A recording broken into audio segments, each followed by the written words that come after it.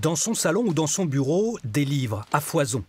En plus d'un CAPES de professeur documentaliste, Jannick Leclerc a obtenu un CAPES de lettres modernes il y a près de deux ans.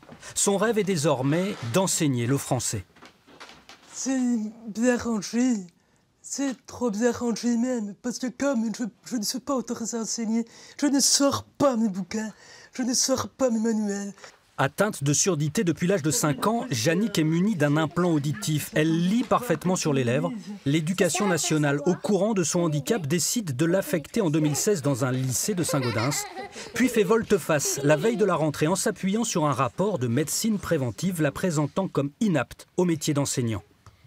Mais je voudrais juste que ce soit un inspecteur pédagogique de lettres qui, dans le métier, d'évaluer les aptitudes des enseignants qui statue sur ma compatibilité ou non, et pas quelqu'un dans ce bureau qui, qui n'a un avis qui ne voit moi que une surdité. Je ne suis pas que sourde. Je plein d'autres qualités qui peuvent compenser justement cette surdité-là. Jannick souhaiterait si besoin se faire assister par un autre enseignant pour affronter ses classes de français, un système déjà existant pour les professeurs déficients visuels. Elle a également conçu plusieurs modules vidéo d'enseignement du français, comme cette animation consacrée à la poésie romantique qui ne demande qu'à rencontrer son public.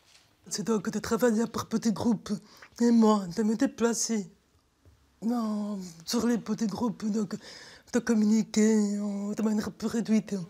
Le rectorat de Toulouse a demandé un nouvel avis médical qui statuera bientôt sur le sort de Jannick.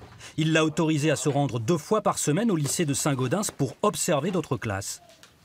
Le poète semblable au prince déhué qui hante la tempête et serait de l'archer. En attendant l'aval de sa hiérarchie, elle relie Baudelaire et espère désormais le feu vert pour devenir enseignante à part entière.